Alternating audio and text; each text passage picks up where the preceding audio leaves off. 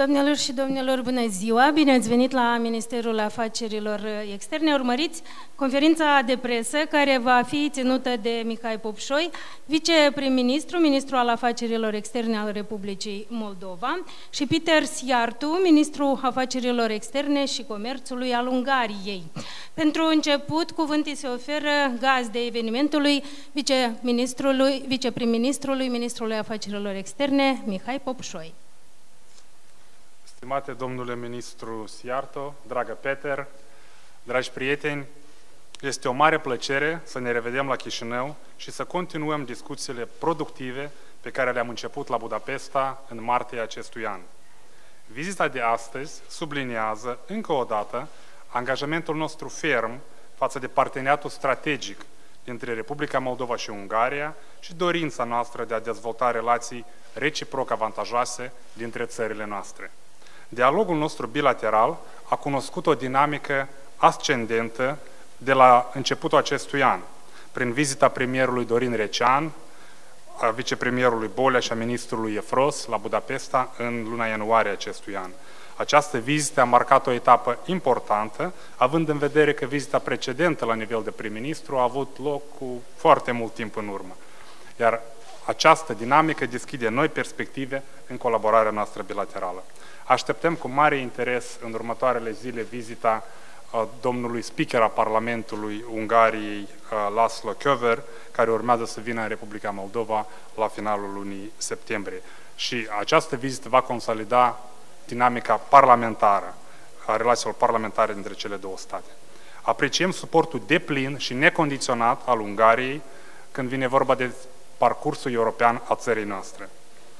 Ne bazăm pe sprijinul Ungariei pe parcursul președinției în cadrul Consiliului Uniunii Europene, în procesul de avansare pe calea integrării europene și am fost asigurați astăzi și suntem extrem de recunoscători pentru sprijinul constant și puternic al Ungariei. În context, aș vrea să menționez că sunt, sunt întreprinși pași concreți privind implementarea planului de acțiuni, privind schimbul de cunoștințe de, eh, privind procesul de aderare la UE, pe care l-am semnat împreună pe 22 martie în cadrul vizitei mele uh, la Budapesta. Astfel, sunt bucuros să anunț că în contextul acestuia, până la finele anului curent, vor fi organizate cel puțin trei vizite de instruire uh, a, a funcționarilor publici din Ministerul Agriculturii și Industriei Alimentare, Serviciului Vamal și Administrației Publice Locale, inclusiv a primarilor, lucru pentru care îi sunt recunoscător lui Peter și uh, Guvernului Ungariei pentru facilitarea uh, acestor vizite. Chiar săptămâna viitoare, peste 30 de reprezentanți ai autorităților publice locale din Republica Moldova se vor deplasa la Budapesta pentru a învăța din experiența Ungariei când vine vorba de dezvoltarea locală, proiecte de infrastructură, uh, pentru ca și în Republica Moldova să avansăm și să ne apropiem de standardele de viață din Uniunea Europeană. Folosesc acest prilej, așa cum spuneam, să aduc sincere mulțumiri Guvernului Ungariei pentru disponibilitatea de a găzdui aceste vizite, contribuind astfel la consolidarea dezvoltării capacităților instituționale a funcționarilor publici din Republica Moldova. Ne bucurăm și de faptul că relațiile noastre pe dinamica economică sunt în ascensiune. În anul 2023, Ungaria a fost pe locul 12 în rândul partenerilor comerciale ai țării noastre, iar volumul comerțului bilateral a depășit 227 de milioane de dolari, iar în primele 5 luni ale anului curent, această sumă a atins 90 de milioane de dolari deja. Lucrăm pentru a majora schimburile comerciale și atragerea de noi investiții ale companiilor din Ungaria în țara noastră și ne bucurăm să avem asemenea companii de renume cum este OTP, cea mai mare bancă din Ungaria care este prezentă pe piața Republicii Moldova. De asemenea, vom fi bucuroși să găzduim următoarea sesiune a Comisiei Interguvernamentale Mixte de Cooperare la Chișinău într-o perioadă acceptabilă pentru ambele părți. În decembrie 23 am salutat revenirea companiei maghiare Wizz Air în Moldova, lansând zboruri către Roma, Londra, Milano. Din martie anul curent au fost reluate zborurile directe spre Budapesta. Acest lucru nu doar stimulează colaborarea noastră în domeniul turismului, dar și în domeniul de afaceri și consolidează firește și relațiile politice. Apreciem foarte mult extinderea rutelor Wizz Air din Moldova anunțate curent pentru această toamnă spre destinații cum ar fi Viena, Varșovia, Abu Dhabi. Suntem profund, acestea fiind lucrurile pozitive, lucrurile bune. În același timp, cu regret, în regiunea noastră continuă uh, războiul în uh, Ucraina, agresiunea Federației Ruse în Ucraina și suntem profund îngrijorați de crizele multiple cu efecte devastatoare în cadrul securității internaționale. În acest sens, pledăm pentru unirea eforturilor în menținerea și fortificarea ordinii internaționale în baza principiilor dreptului internațional și a Cartei ONU. Suntem, susținem eforturile privind fortificarea rezilienței, atât internaționale cât și la nivel național, față de amenințările hibride și provocările uh, care uh, ne stau în față. Astfel, în cadrul cooperării în domeniul securității și apărării, suntem interesați de menținerea și dezvoltarea colaborării bilaterale dintre statele noastre, cât și în cadrul organizațiilor internaționale, în scopul fortificării rezilienței naționale și sporirii capacităților de răspuns și gestionarea crizelor și menținerea stabilității și păcii în regiunea noastră. Astfel, facem un apel către, către Ungaria și uh, mulțumim pentru sprijinul oferit în cadrul programelor cum ar fi European Peace Facility, un program extrem de util pentru Republica Moldova și care ne ajută extrem de mult. Uh, la fel, parteneriatul de securitate și apărare care a fost semnat în acest an cu Uniunea Europeană. La fel, suntem recunoscători Ungariei pentru sprijinul în cadrul uh, NATO, uh, programului Defense Capacity Building Initiative. Aceste programe ne ajută să modernizăm sectorul de securitate și mulțumim Ungariei pentru acest sprijin. În încheiere, doresc să subliniez cooperarea existentă în domeniul păstrării memoriei victimelor războaielor, cursurile de formare în Ungaria, contribuția maghiară în cadrul uh, uh, uh misiunii UE în Mali uh, pentru contingentul nostru, dar și suportul contingentelor noastre în cadrul misiunii KFOR din Kosovo. Pe această cale, vă mulțumesc mult pentru această vizită la Chișinău.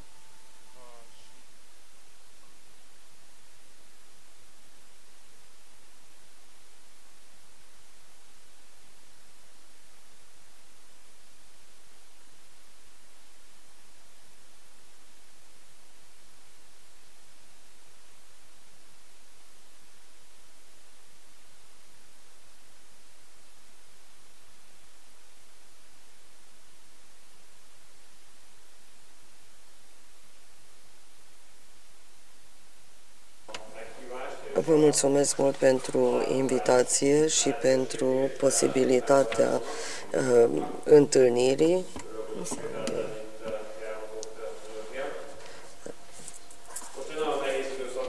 Suntem într-adevăr într-o perioadă foarte grea, foarte dificilă, dacă ne uităm la continentul european.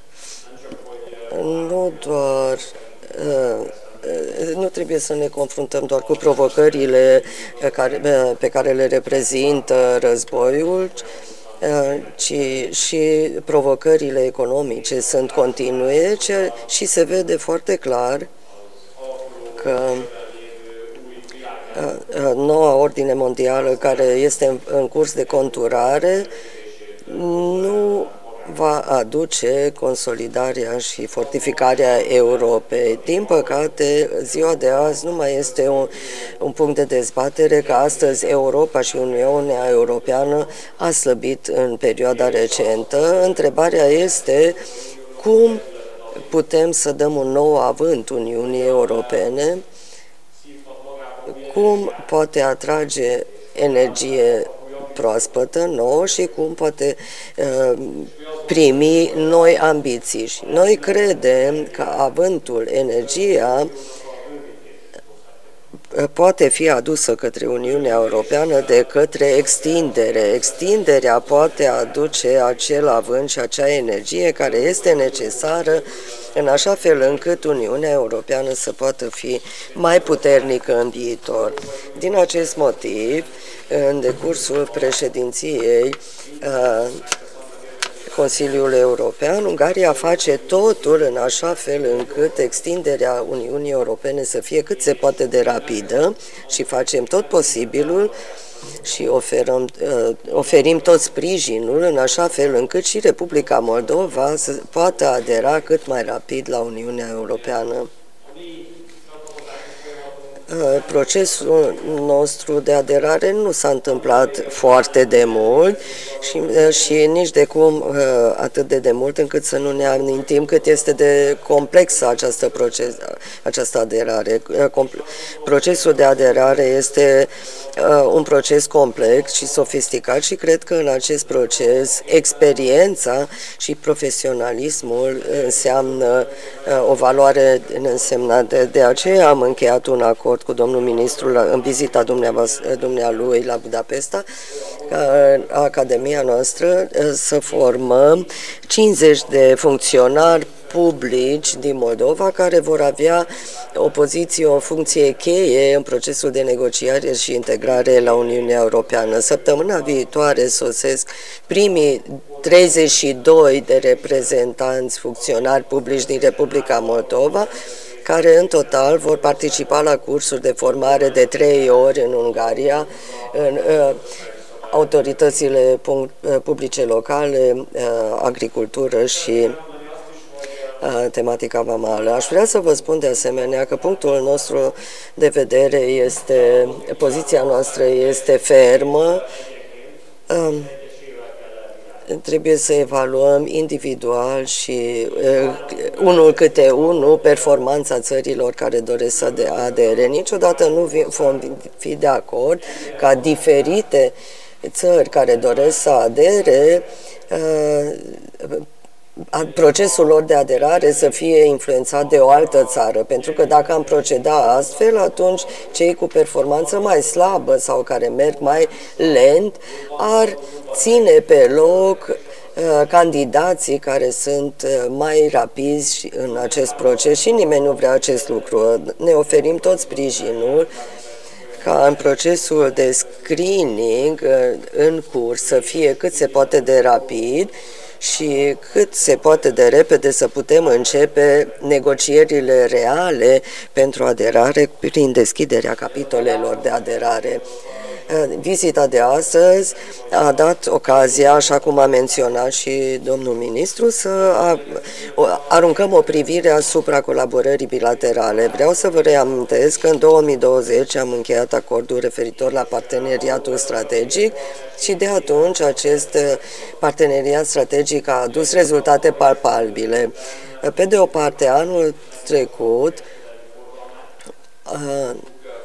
am produs rezultatul uh, numărul 2, cel mai uh, bun, al doilea rezultat uh, în ultimii 10 ani. Schimbul comercial a crescut de 2,5 ori, uh, dar uh, uh, banca cea mai importantă de la noi, OTP, este lider de piață și aici. Ușor, ușor are deja 1000 de angajați în Republica Moldova cu 54 de sucursale și până la sfârșitul anului va investi 30 de milioane de euro în proiecte care va crește, vor crește nivelul serviciilor pentru cetățenii din Republica Moldova. Parteneriat unul din elementele importante ale parteneriatului strategic este faptul că Vizer asigură relația cu lumea pentru Republica Moldova în mod decisiv și întotdeauna încurajăm Vizer uh,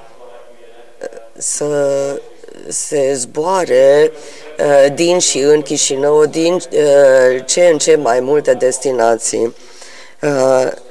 Ungaria asigură 40 de burse pentru studenți la universitățile din Ungaria, pentru studenții Chișinău și ne bucurăm că o lector din Ungaria lucrează la Universitatea din Chișinău și anul acesta avem 16 studenți care s-au înscris la cursul de limba maghiară, cărora le doresc perseverență și succes să-și poată duce la bun sfârșit această decizie. Nu spun că este la fel de complicat ca procesul de integrare la Uniunea Europeană, dar este un proces compatibil și sperăm că și acești studenți vor avea succes și și Republica Moldova va avea succes. Nu depinde de noi. Ministri, vom avea o oportunitate de întrebări acum. Uh, rog uh, întrebarea de la Newsmaker. Rog să-mi spuneți cum intenționează Ungaria să valorifice președinția Consiliului UE pentru a sprijini parcursul european al Republicii Moldova și consolidarea relațiilor bilaterale în contextul provocărilor eh, regionale actuale. Uh, la ambele.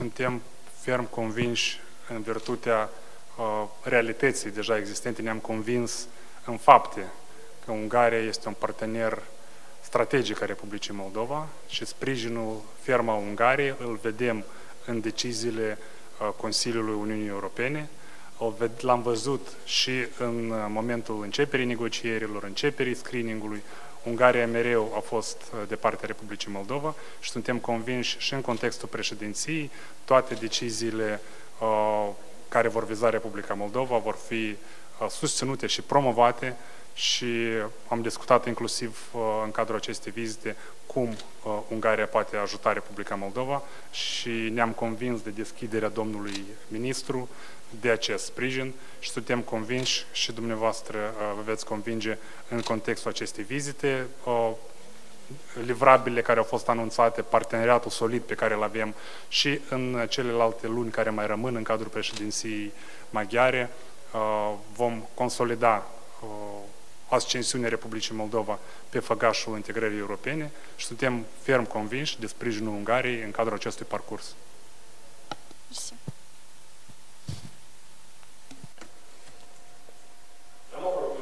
Nu vreau să vă stric uh, buna dispoziție, însă sarcina noastră cea mai importantă este să punem capăt uh, fățărniciei care a apărut la Bruxelles referitor la extinderea Uniunii Europene. Care este de fapt situația? Eh, majoritatea țărilor UE vorbește în public despre cât de mult susțin extinderea.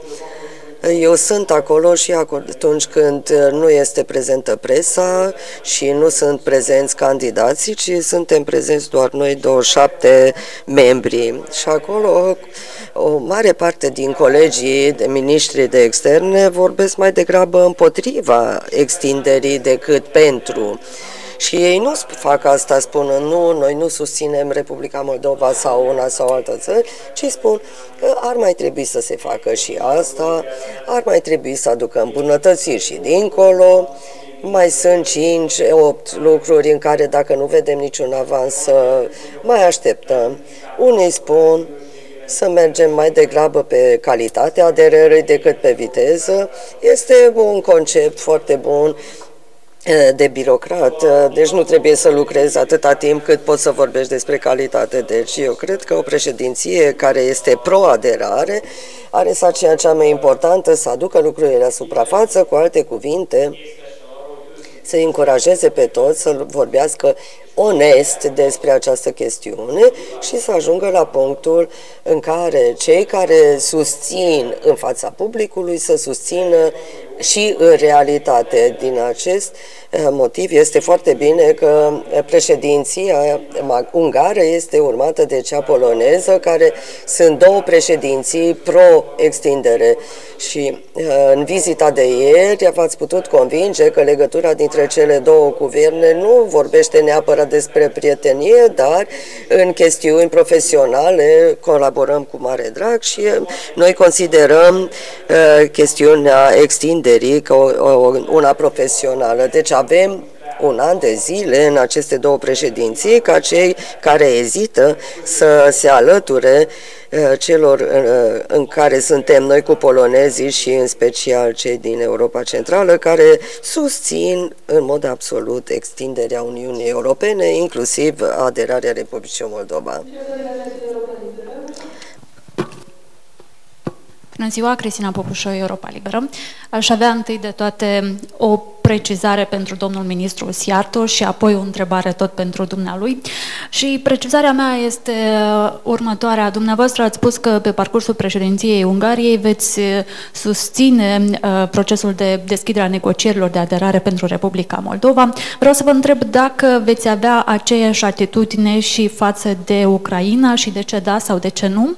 Iar cealaltă întrebare este, așa cum amintea ce dumneavoastră, acum două zile la Chișinău a fost premierul polonez, Donald Tusk, care a spus, inclusiv referindu-se la plebiscitul din 20 octombrie, că Republica Moldova ar trebui să aleagă între Rusia și Uniunea Europeană. Dumneavoastră, domnule ministru, susțineți această propunere, această atitudine? Sau credeți mai degrabă că Republica Moldova ar trebui să aibă relații bune și cu Moscova, așa cum are Ungaria? Mulțumesc!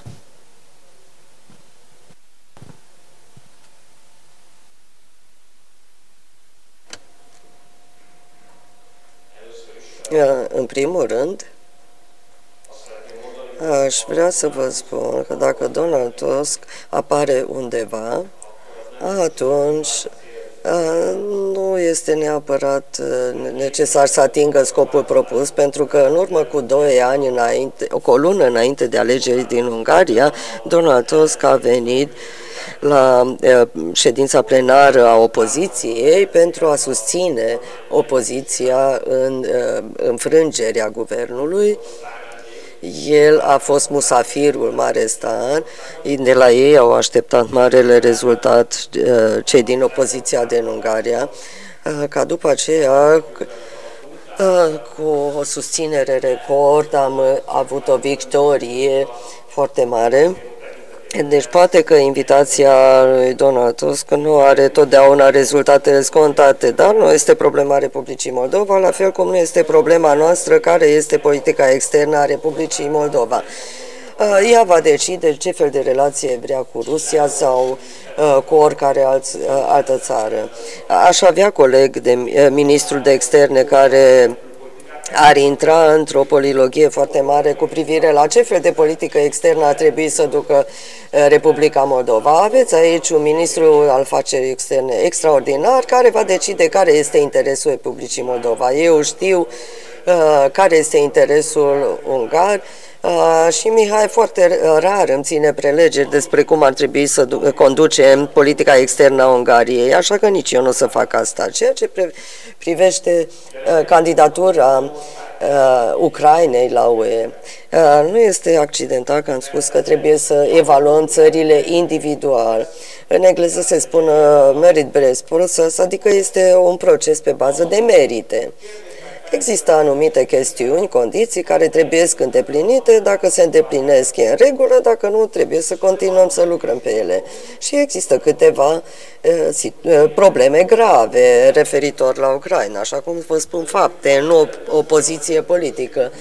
Noi avem o comunitate semnificativă națională în Ucraina drepturile acestei comunități maghiare sunt încălcate în mod brutal în Ucraina. În ultimii ani în Ucraina au, s-au luat nenumărate decizii care au luat drepturile acestei comunități maghiare și au făcut, au îngrenuat semnificativ accesul la cultura și educația în limba maternă ceea ce este un fapt. Una din valorile cele mai importante ale Uniunii Europene este apărarea minorității naționale. Ucraina merge în sens uh, tocmai opus, ceea ce noi nu putem accepta. Încă un lucru.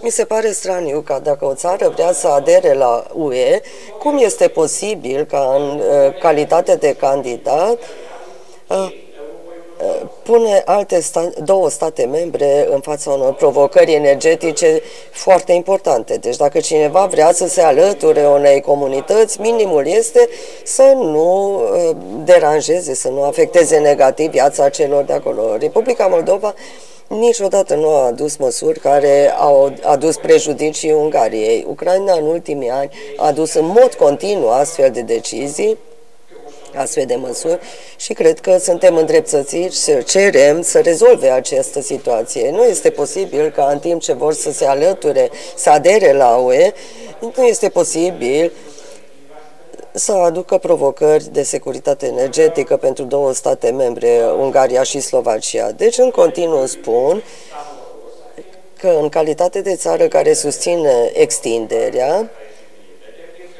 trebuie să evaluăm individual performanța fiecărei țări candidate care nu pot influența, nu pot fi influențate de alte țări, iar fiecare țară trebuie să îndeplinească condițiile stabilite. Republica Moldova a muncit foarte mult pe acest lucru și dacă am înțeles bine, guvernul uh, moldovenesc, uh, o mare parte din munca uh, guvernului moldovenesc se întâmplă pentru îndeplinirea criteriilor de aderare și face tot posibilul să poată parcurge acest drum cât se poate de repede.